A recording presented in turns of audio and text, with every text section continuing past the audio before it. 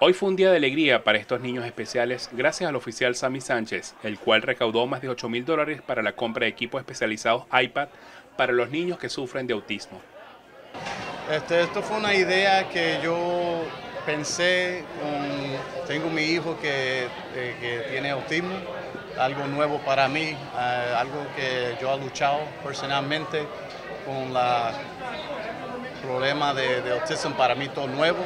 El oficial Sánchez también nos comentó. Nosotros sabemos que el distrito de la escuela estamos, no, no podemos esperar en ello, no podemos esperar en el dinero porque el dinero no viene. yo estoy haciendo mi parte para ayudar a estos, estos nenes especiales que para mí personalmente yo a, hacer las luchas que la familia, los parientes pasan y quiero hacer lo mejor que yo pueda. También los niños comieron un suculento almuerzo en la misión barbecue que queda en el noreste de la ciudad.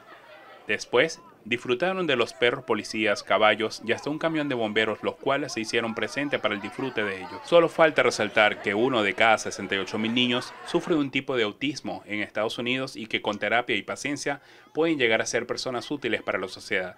Reportó para ustedes Jesús Rincón, Univisión 65.